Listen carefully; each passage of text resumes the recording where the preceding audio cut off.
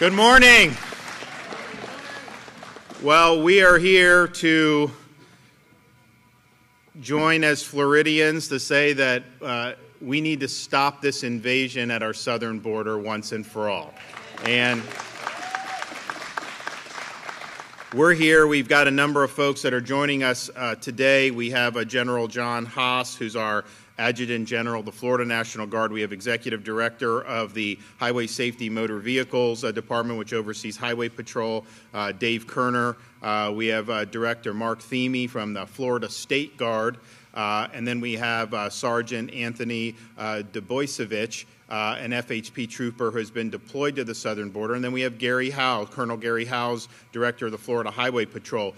Ja- go back to January 20th, 2021. Uh, what does Joe Biden do as soon as he gets into office? He opens the southern border.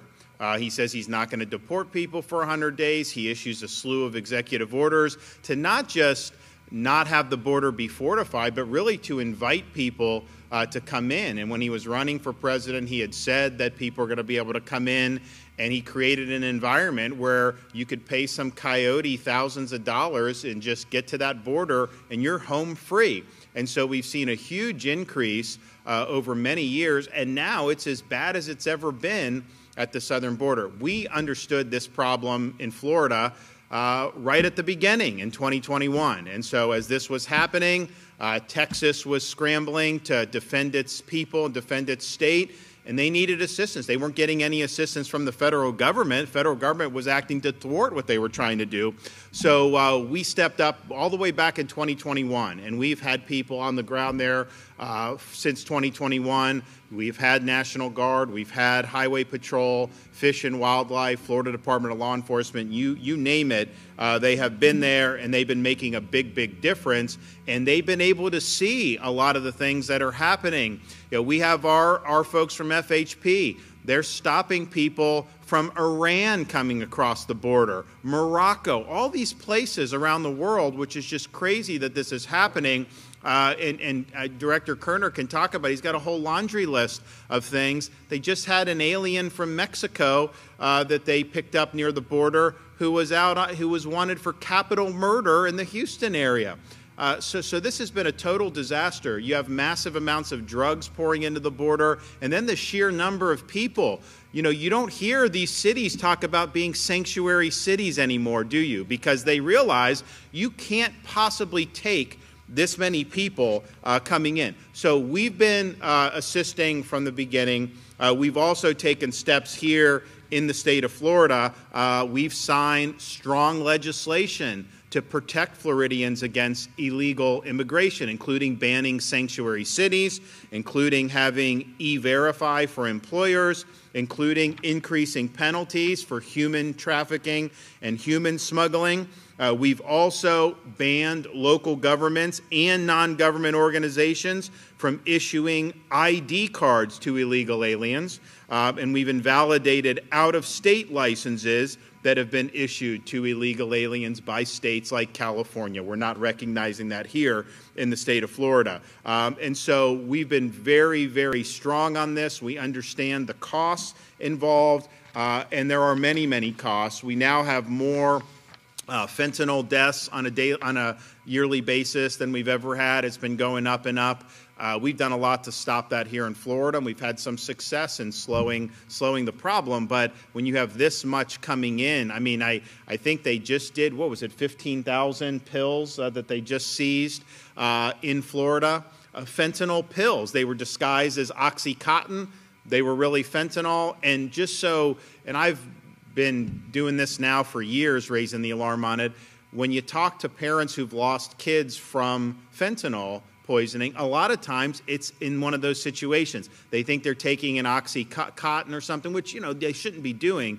But if it's laced with fentanyl, you could be poisoned to death right there. So all of those uh, fake oxycontin with that are fentanyl, you know, those are potential death sentences to anyone that takes it. And so we see that, and the, the human toll has been incredible that this is happening.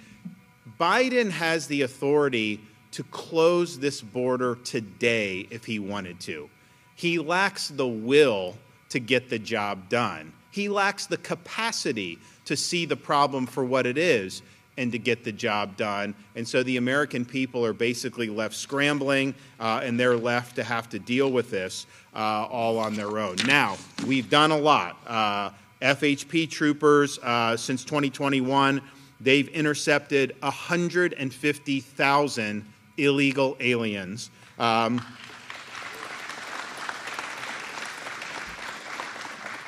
and they have been instrumental in generating over 2,000 human trafficking and human smuggling charges in the state of Texas. Our National Guard have helped staff observation points, patrols, uh, and they have helped with fencing and barriers.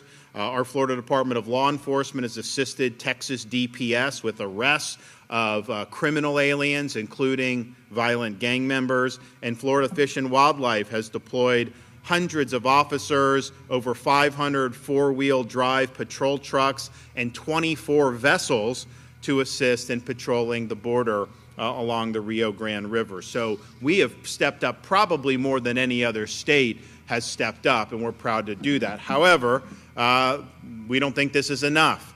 Uh, I believe that a state has a right to fortify its own borders.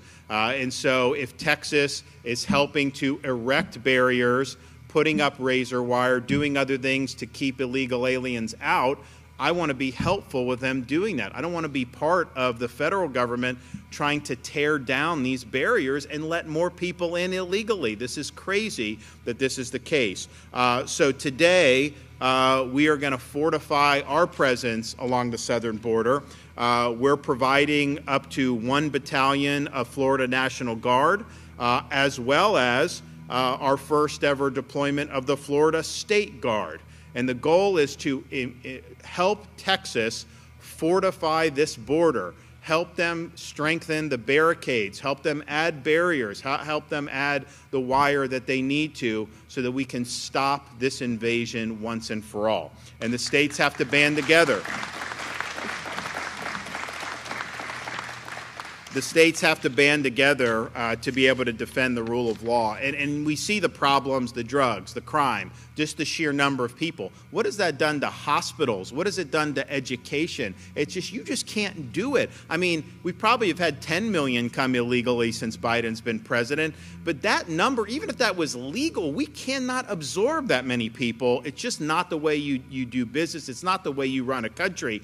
Uh, but it's also a larger issue. You know, if we don't have a border, then we are not a sovereign country. Uh, you, either, you either have a border or you don't. You're either a sovereign country or you're not.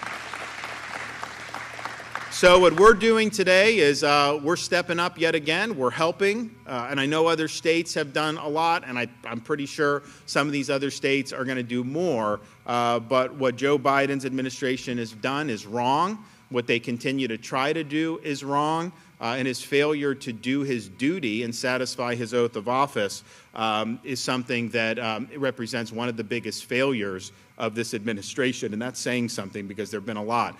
So let's, let's all band together as states. Let's say that our borders matter. Let's say that we're going to support Texas uh, in making sure that we can stop what is happening to our country. So I'm proud to be able to have a lot of people that have served from Florida over these last almost three years now. Uh, we're going to have more that are going to go, and they're going to do a great job. And this is important. This is one of the most important issues happening in our country today. You know, the people in D.C., they may not think this is that important because it doesn't affect them. You know, they're more concerned about sending your money overseas or doing whatever they, it is that they do. Uh, but this is really important to the American people. And if you look at the, the potential border deal that they're talking about, where they're going to do some type of reform, first of all, Biden doesn't need legislation to do what he's going to do. Second of all, they're saying, oh, you can have you shut the border down only if you get more than 5,000 illegal aliens a day. Well, that's a million eight a year, 1.8 million a year that you're just saying is fine, that that's an acceptable amount of illegal entries. To me, the only acceptable amount of illegal entries is zero. And that's what our policy should reflect. So, uh, what they're doing up in D.C., I mean, look, a lot of that is they're working for their interests. uh, when you start talking about green lighting, that many more illegal entries, I can tell you, like, this has been a hot issue. I've spoken with people all over the country in the last few years about this. I've never had one person say that what we needed to do is what they're thinking about doing in Washington. Not one person has ever said that um, at all because they're not concerned about you. They're not concerned about our country. They're concerned about their own interests. So we're going to bring up some other folks here, but I'm excited to be able to make this announcement. Uh, we're doing our part. Uh, I've said from 2021, when I used to say that this is an American issue, it's not just a border issue, you know, a lot of people in the media would sneer, and now look what's happened. Look where we are now as a country. It's sad that this has happened. Uh, but we're gonna, not just going to sit idly by. We're going to do something about it. All right, I'm going to bring up some folks. So we'll start with uh, Dave Kerner from Florida uh, Department of Highway Safety and Motor Vehicles. Governor, there's not really much more that I could add about the description and the conditions at our southern border, but I'd like to start by A, thanking you as our governor and as our leader uh, not just uh, as the executive director, but as, uh, as a Floridian, as a, a resident of the state, uh, for proactively uh, taking the mission to the Texas border, protecting Floridians first and putting the state first. You've always done that as our governor, and we're honored to work for you, sir. Thank you for what you've done. I'd also like to say thank you to the men and women behind me who have served on the border. You know, I did some basic math. The Florida Highway Patrol and our state troopers have served over 30,000 individual day and nights away from their families, away from their state, away from their duties here. Having said that, they are never more committed than they are now to be on the border protecting this state. These, these men and women behind me, they see the impact of the open border, not just while they're there, but we have 2,000 state troopers in the state of Florida that patrol these roadways and put bad people in jail every day. They see the 15,000 fentanyl pills. They see the 30 pounds of methamphetamine that were just seized last week. They've never seen this type of uh, drug interdiction in, in, their entire careers. And so, Governor, we remain committed to this mission. We're honored to be a part of this mission, and we know that it's a mission of a lifetime and Director and General, we're certainly excited to have you join us in your capacity to protect the border of the United States and to protect the families and, uh, and constitutionality and sovereignty of the state of Florida. Thank you, Governor. Thanks. You know, if you look at like some of the write-up that FHP, you know, does in terms of some of the um, interactions that they've had, you know, they had one in instance recently where illegal alien took, I think, like a one year old and, and threw the one year old into the Rio Grande to try to get people to come. And then I think they thought they could hop on the boat and get across the border. Someone came, tried to rescue. Then a, then a lady dropped, I think, like a four year old or something. And then that, and, and, it was, and they ended up, it didn't succeed. You know, the, the kids were rescued, but then they put them back on the other side of the border. But I'm just thinking, like, who would throw a one year old into a river like that? I mean, like, this is just really, really nuts. And we have no idea who the heck these people are who are coming. Um, do you think they're getting background checks? Uh, do you think they're showing ID? You know, you, if you want to get on a commercial flight in this country, you know, you got to get a, basically a cavity search, you got to show ID, you got to go through all the security. These illegals don't even need photo ID. They can fly on our planes without photo ID. You talk about putting the American people last. What the hell are we doing in this country? It is a total farce. General.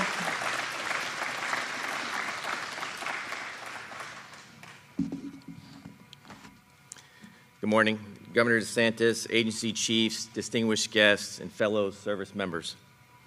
I'm proud to say that the Florida National Guard is ready once again to answer the call in partnership with our fellow state agency teammates, in support of, our, of the citizens of Texas and the Texas National Guard. For several years, the Florida National Guard has supported ongoing border security missions in Texas to include deployments in support of multiple federal and state mobilizations. Last spring, the Florida National Guard was the first in the nation to mobilize rotational units to the southwest border in support of Operation Lone Star. During the deployments, the Florida National Guard provided over 700 soldiers to support border security operations.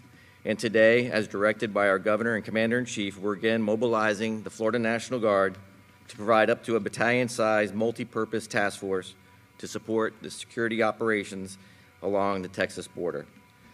While continuing to provide critical support to our citizens in the state, by conducting ongoing security efforts and related mission sets here in Florida, to include interdiction missions supporting the Florida Highway Patrol, continued staff support for the Department of Corrections, and sustained aviation support in the Florida Keys. I thank the brave men and women of the Florida National Guard, their families, and the employers who continue to serve and support the great state and nation. The Florida National Guard is always up to the task and will represent the state of Florida well in this very important mission. Our governor has a unique military perspective because he has served our country in uniform. As a naval officer and judge advocate general, he knows firsthand the dedication and discipline required for missions such as this. Governor, thank you for your leadership and for the confidence and enduring support of your soldiers and airmen who proudly serve and answer the call whenever and wherever needed. Sir, your Florida National Guard is always ready, always there. Thanks. All right, Director.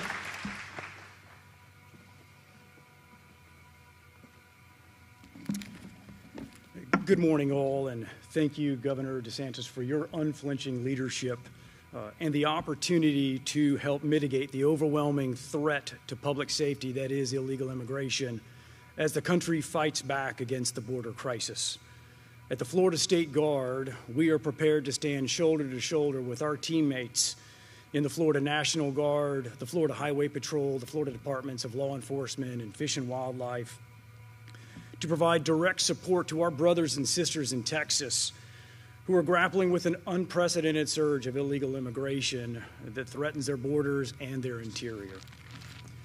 During Idalia and other severe weather events uh, during this season, our soldiers demonstrated emergency response capabilities as reliable and professional partners, responding to all threats to public safety.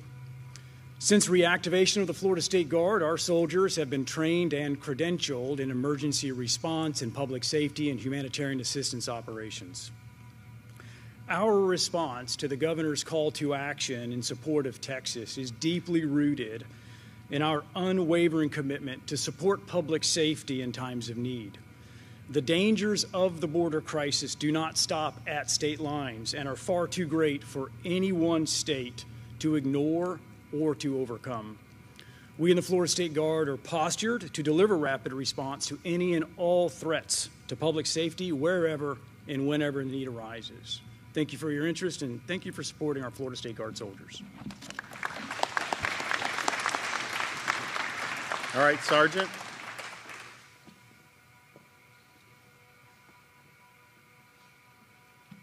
Thank you, Governor, for having us, and uh, I'd just like to bring a little insight to the to the border crisis that we see on a day in and day out basis. Um, a lot of people don't cover it because it doesn't um, provide good news uh, media attention. But at the end of the day, what we see on a day, everyday basis is the number of lives that are brought across over to Florida, to Texas, um, by people of criminal organizations. And the criminal organizations thrive on the people trying to get them across. And, you know, ultimately it affects us locally here in Florida because we're stopping people with drugs. We're stopping people who are um, bringing weapons and things of that nature into our communities. Um, and having to deal with these individuals on the side of the road that have no regard for anybody's life. They don't care about um, anybody that they're bringing across. The the big picture for them is making a profit, and and um, that we see on a day in and day out basis. So that's why we're so willing to go across over to Texas and, and try to help prevent those things from coming over to Florida. Um, a lot of people don't see it, but like they said, 30 30 kilos of methamphetamine just last week that we recovered off of the roadway. Um, that 30 kilos can kill numerous, numerous people, and um, a lot of people that that doesn't get brought out in, in the media. You know, they don't tell you that they're bringing 30 kilos or or 15,000 fentanyl pills over. So. Um, we appreciate the support of the governor's office. We appreciate the support of Governor DeSantis, and we'll continue to do our mission over in Texas uh, to help protect the citizens of the state of Florida. So, thank you. Thank you. Appreciate it.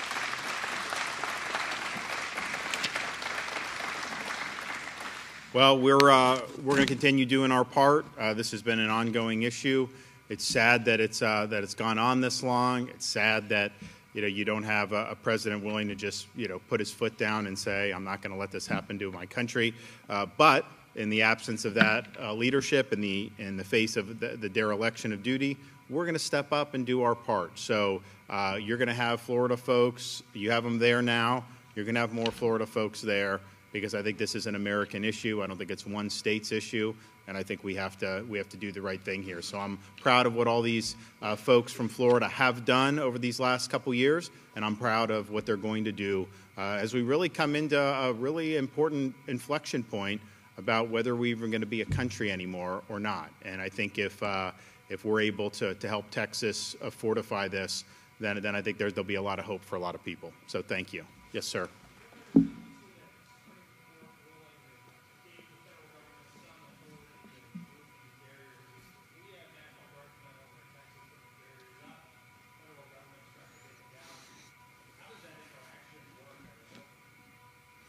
Texas has the right to erect barriers. They were not even a party to that decision.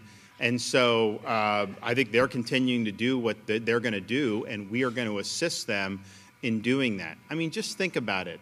You say that the federal government has the purview over uh, illegal immigration uh, and borders, uh, and that states can't be involved, but the federal government's not enforcing the law.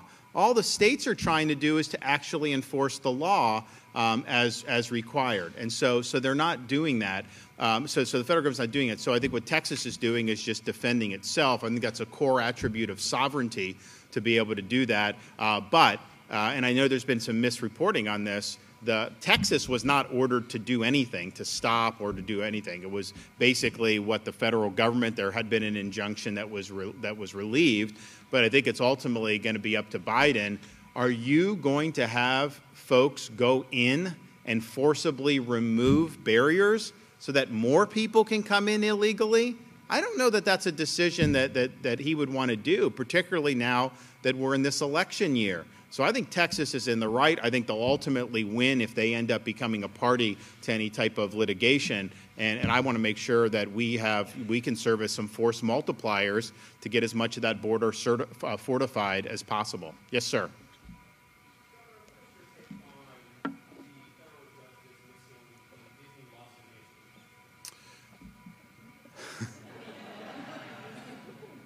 Well, first of all, uh, we stood up for the innocence and well being of the children of the state of Florida, and that's the right thing to do.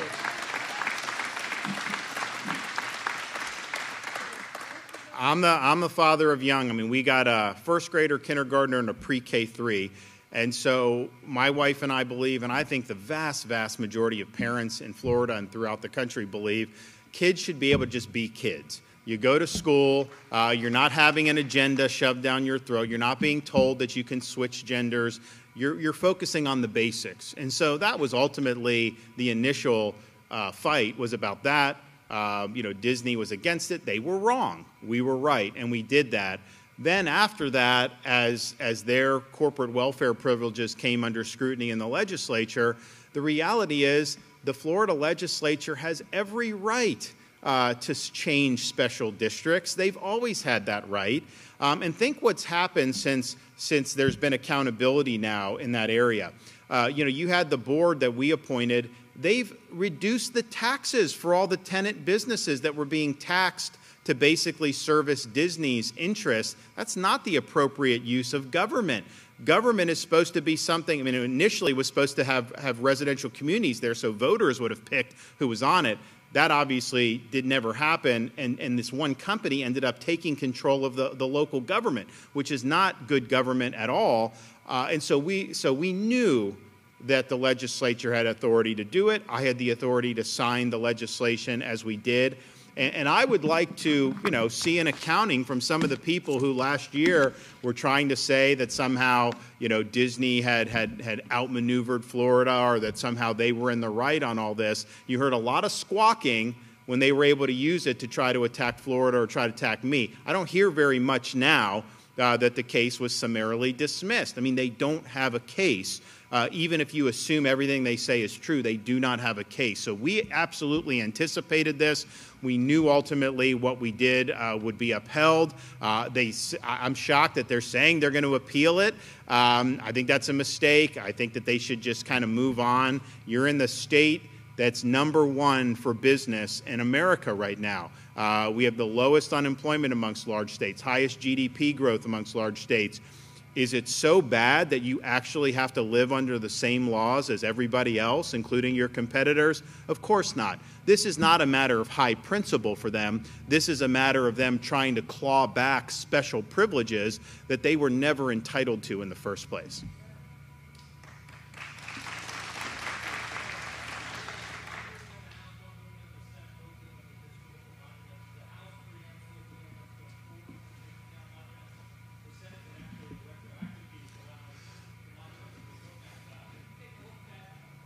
I have not seen the legislation, but I've been very clear ever since I've been governor. I do not support taking down monuments in this state. We've got to stop with this, okay? You know, it's like you, you learn from history, um, and, and you do that. But to try to just say, and here's the thing, when they'll say, oh, well, the, the five years ago, it's like, oh, well, we just, they just didn't want some Civil War general or whatever. And then now that's turned into taking down Thomas Jefferson and Teddy Roosevelt and Lincoln, taking Washington's name off schools. That is, it is nuts. And so I've just said no. Uh, we're not going to support uh, removing any monuments or taking down any statutes. We've created some protections when we did the anti rioting legislation, where because people were trying to topple stuff, so we added some penalties there. But I think it's totally appropriate for the legislature to say, you know what, we're going to stop the madness. Uh, we're not going to do. I heard people in, in Jacksonville want to take down Andrew Jackson. What are you? We going to rename the city? I mean, come on. We've got to stop doing this. And I think that it's just,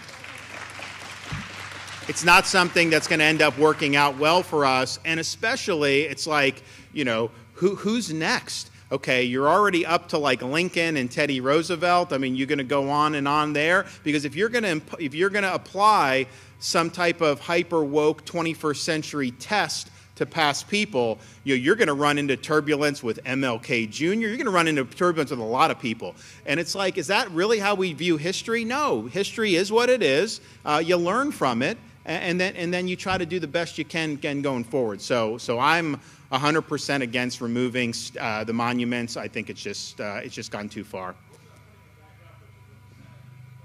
Yeah, so I have to look at that. I mean, look, anything that's been taken down uh, since I've been governor, uh, I, I, that's not anything I've supported. I don't know how many have been. I know there's been controversy here in this area. I think it's been relatively minor, but but my view is is is you don't take down. Um, and so if someone is taken down, I think that that's a mistake. Yes, sir.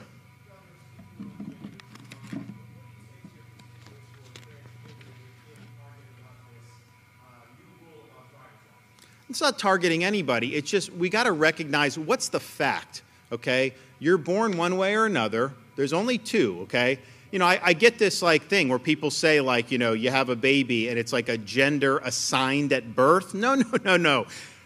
I mean, God's been doing this a while, okay? It's either one or the other, and that's just what it is. Now, how someone conceives of themselves and all that, th- that is subjective, okay? And so I think what we have to do from the state perspective is just focus on the objective biological realities. Um, because the minute you go off of that, the minute it can be subjective, well, what else can be subjective? And, and there's a whole host of other things that you could just say is that. So it's not targeting anybody, it's just how do you have to, to root your policy? And I think we just have to root our policy in truth and in fact. And so that's what it is. You're, you're born one way or you're born the other, and that's just how we got to roll. Yes. Yeah, I mean, I think that uh, they're in contact with uh, Texas DPS. Uh, basically, Texas has had um, this EMAC request. It's been pretty standard. This is not necessarily anything new uh, that they've needed support. They've been asking for support, so it's in response to that. But I do think for us, we really started thinking about we've done a lot, but we saw what was happening with the barricades, and we wanted to make sure those barricades uh, could be erected. And so if our folks can help with that, we thought that that was something that was very important. So, um, so they're going to be working together. Uh, exactly where they'll go will really be done in conjunction with Texas. Uh, I anticipate uh, people will start moving out uh, relatively uh, shortly. Uh, and will likely, you know, be, be busing a lot of people over to the state of Texas. So I, I think it's a great mission. It's interesting. I've having talked to folks who've done it. You know, there's a lot of passion in this mission for, for folks. I've talked to a lot of the FHP guys, FDLE. Uh, you know, it's not easy work because you're away from your family. You're in, and some of these places in Texas, you know, South Texas, as a native Floridian, I remember we did an event there in June on the border. That was the hottest I've ever been in my life. Hotter than Iraq, hotter than Florida in August or September. I mean, it was really, really bad. But then in the winter, it actually gets pretty cold uh, too. So it, it's, in terms of the climate, it can be challenging. And so we've had a lot of guys that have been out there um, that have done really, really well. We appreciate the service. We know that we're asking um, you know to step up and supplement what you're already doing. I want to thank all the agencies, uh, FHP. I want to thank FDLE. I want to thank uh, National Guard. You know they have day jobs that they do here. And so they're not really um, subtracting from anything they're already doing. They're still doing all the stuff that they normally do. They're just doing extra duty to be able to help this country. So I think that's really good service. And ultimately, when you're involved in any type of public service, you know, that's what it's all about. Are you making a difference in people's lives or not? And these folks are making a difference, and Florida is making a difference. Thanks, everybody. God bless. Appreciate you guys. Thanks so much. Thank you. Thank you. God bless you guys. Thanks so much. Appreciate you.